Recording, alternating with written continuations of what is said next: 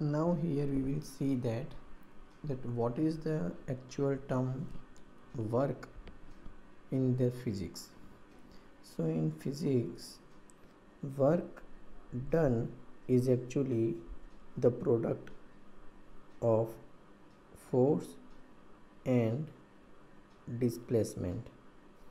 So force into displacement the scalar product of force into displacement is called work done. So this is the basic term. In general we say that force into displacement is a work. Now using this relationship we will derive one simple example. That is your example number 6.1 of textbook page number 115 in this question we are given that that find the angle between force that is we are given that force is equals to 3i cap plus 4j cap minus 5k cap. That is the direction of force in any unit then we are given displacement. Displacement as the combination combination of that is 5 i cap plus 4 j cap plus 3k cap. So this is also the value of displacement. We are asked to find out that angle between force and the displacement. So we have to find out angle theta between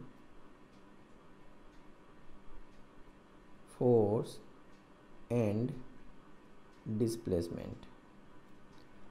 And we also need to find out the projection of force on displacement. So we also want to know that projection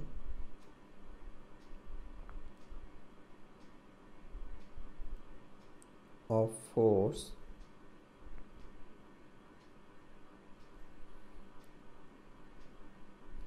on displacement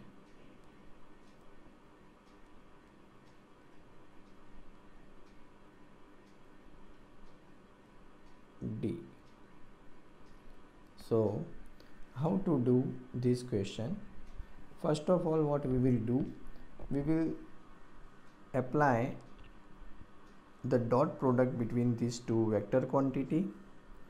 So, our first step is to have dot product of two vectors that will be we can say that x component of force to the x component of displacement plus y component of force to the y component of displacement plus z component of force to that z component of displacement. Now we are already given these quantities and their magnitude. Fx we are given as 3 and dx we are given as a 5 plus fy we are given as a 4 while dy we are given as a 4 plus fz we are given as a minus 5 and dz that is given as a 3 now we will apply these values. So we can say that this is equals to 15 plus 16 minus 15 and that will be 16 so the dot product of force into displacement will be here 16 unit. Now we want to find out angle. So obviously we have the equation. That is what? That force into displacement fd cos theta. And therefore we can say that therefore to find out the angle what we need actually we need in the manner f dot d. That is we have obtained above that is 16 unit. So this dot product is produced over here. We also want to get the term in a form of angle. So we have equation that is force into or force dot displacement is equals to magnitude of force into magnitude of displacement into cos theta. That is the angle between these two quantities. And therefore when we make cos theta as a subject cos theta will be like dot product of f and d upon mod of f into mod of d. Now we have two quantities f and d.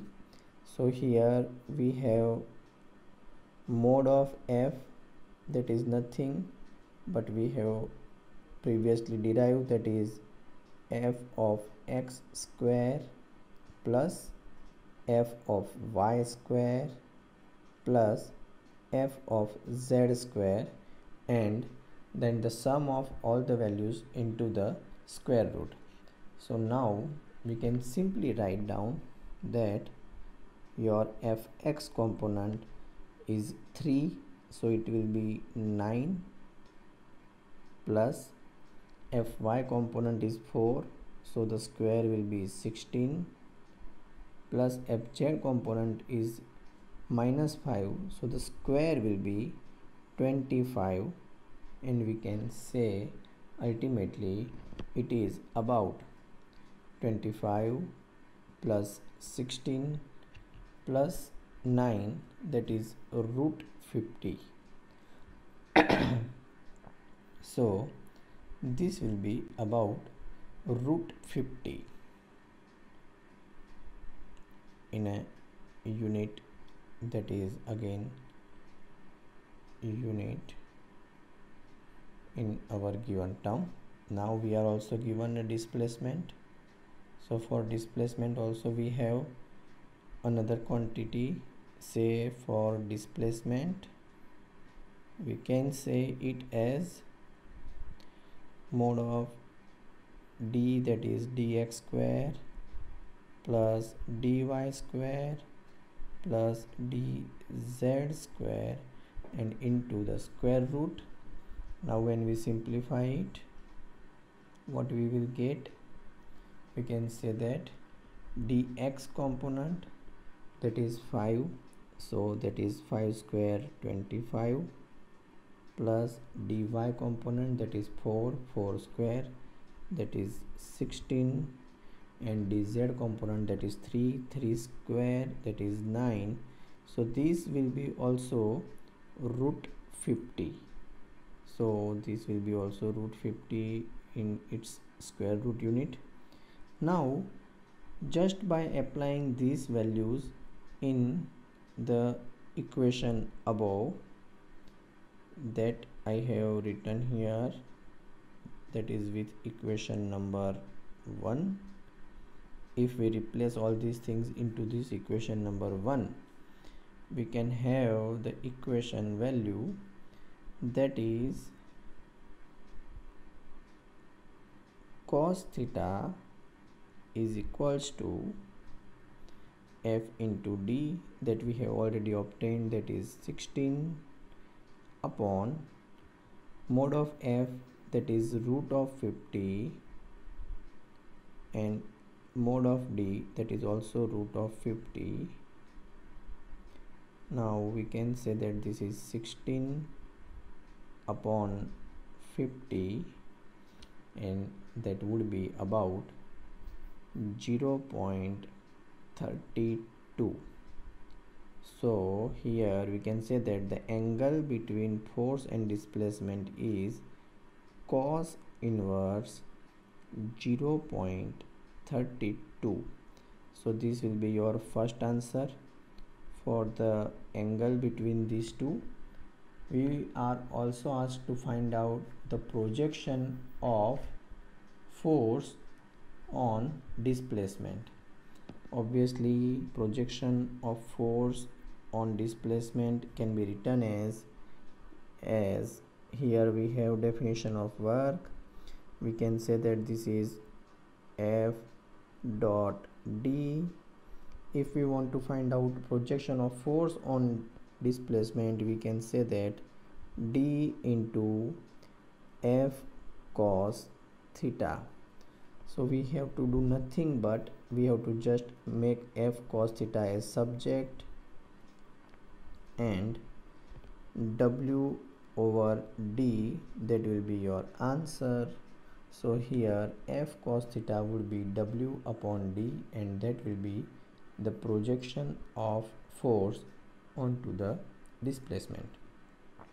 So here if we define that term that is work done as a 16 and the mode of d that is about root of 50 then this would be the projection of on the displacement. So here again this will be the projection of force on the displacement. So this is your example number one that is given in textbook. Theory that is called work energy theorem.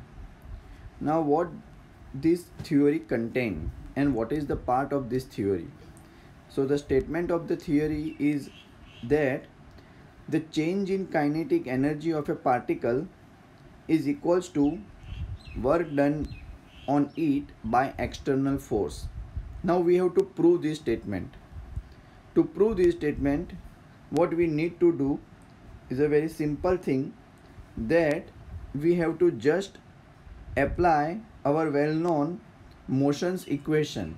We know already that we have three motions equation with constant acceleration. Out of that, we will use the equation that is v square minus u square is equals to 2as here we already know that that v square is that is v is a final velocity u is initial velocity a is constant acceleration and s is displacement now in this equation we want to compare that is work with energy so that is work energy theorem is actually the combination or the relation between work and energy. Here we will compare it with kinetic energy as well as potential energy. So here in this case what we will do we will multiply this equation number 1 with m by 2 both the side. So when we multiply it with m by 2 both the side we can see that we have equation like 1 half mv square minus 1 half m u square is equals to 2 1 half m into a into s now that is visible with the part, part that I have colored with red green and yellow here in red color that is given that is final kinetic energy the green color is given that is initial kinetic energy and that yellow part is the combination that shows the F equals to M into A. So that yellow part gives us the condition of the force. Now we compare and accumulate these two equation in our intention that we want to derive that is 1 half mv square minus 1 half mu square so we can say that final, final kinetic energy that is kf minus initial kinetic energy that is ki is equals to ma into s. Here ma is called force, s is displacement and that is ultimately force into displacement in a vector form because force is also vector quantity and that s that is a displacement is also a vector quantity but the left hand side here that is a change in kinetic energy and energy is a scalar quantity. Now when we compare it we can have kf minus ki that is delta k. That delta k means that is our change in kinetic energy. At the same time w that gives us the information about the work done. So here we have converted that equation that is v square minus u square is equals to 2as into delta k is equals to w that is called work energy theorem and it is very very important theory for us. Now we will see the example number 6.2 which is also the part of work energy theorem. So that example number 6.2 first of all we will see that what the information they have provided us first it is given that it is well known that a raindrop falls under the influence of a downward gravitational force and the opposing resistive force. The latter is known to be proportional to the speed of the drop but is otherwise undetermined. Now consider a drop of mass 1 gram falling from height of 1 kilometer. It hits the ground with speed of 50 meter per second.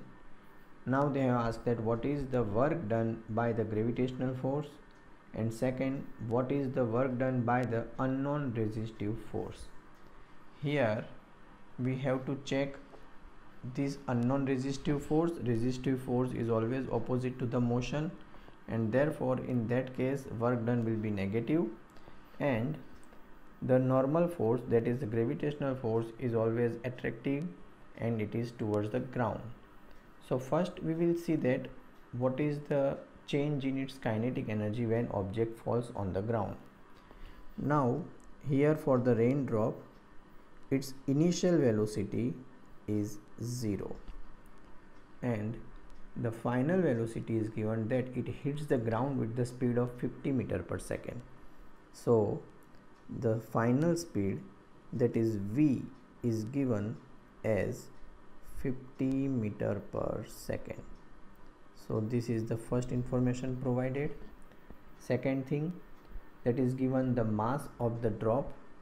So we are given a mass of the drop that is 1 gram that is 10 raised to minus 3 kilogram because we want to convert it into SI system. The height is also given that height is given about about 1 kilometer. So we can say that here h is about 1 kilometer that is also about 10 raised to 3 meters. Now what is the actual question that they have asked? Let us see that what is their basic question is. We can here say that suppose we consider here the cloud in the sky that is about 1 kilometer at height from the earth. Let us consider that the earth to be on the ground that is say here somewhere the earth that we consider this is our earth this is earth that I have shown with the brown color soil color. Now the height is given that is about 1 kilometer. So the earth is about 1 kilometer away from the drop. Again we consider that drop is coming from the cloud in the manner so in between somewhere it forms a shape. We say that it forms a shape at this height. It is of 1 gram mass and initial velocity has 0 it gradually comes to the ground. So we say that when rains comes in this manner. Out of that we will consider one drop. Here this drop will come to ground. It also forms we say when it falls on the ground it will have certain velocity. That is v they have given 50 meter per second so when it hits the ground it will have this much speed. So first of all we will change we will find that what is the change in its kinetic energy as per as the information. We can say that delta k is 1 half m v square minus 1 half m u square. Now we have u equals to 0 while v equals to 50 so we can say this is equals to 1 by 2 into the mass 1 gram. That is 10 raised to minus 3 kilogram. So we are given this. That is 10 raised to minus 3 and speed that is 50 square. Now this is equals to what? That is 50 square is about 2500 and it is divided by 2 so it will be 1250 with 10 raised to minus 3 power. So it will be 1250 into 10 raised to minus 3 so it would be 1.25 joules. So first of all the change in kinetic energy will be 1.25 joule. Here we already have considered that the initial speed of the drop is 0 now we also consider that suppose gravitational force is a constant that is acting on this drop so that w that is acting in downward direction is always equals to mgh initial height they have given us that is 1 kilometer that is about 10 raised to 3 meter. So when we consider it in our question we can say that that work done is equals to mgh so here that work done by the gravitational acceleration that work done by the gravity is equals to m g and h. Here for arbitrary we are taking g as a 10 so mass is given 10 raised to minus 3 g that we will take as a 10 and h. h is given as a 10 raised to 3 meter that is 1 kilometer. So ultimately here the work done by the gravitational acceleration or gravitational force turns to be 10 joule. This is very interesting result because the change in its kinetic energy is 1.25 joule while the work done by the gravitational force is 10 joule. So from the work energy theorem we have very nice observation that we can say that from work energy theorem W is equals to delta K. So total W here for the given case we can say that here W is equals to Wg plus some resistive force that we want to find is equals to delta K. Now obviously we want to find out this resistive force that will producing some resistance so that wr is equals to delta k minus wg now what is delta k?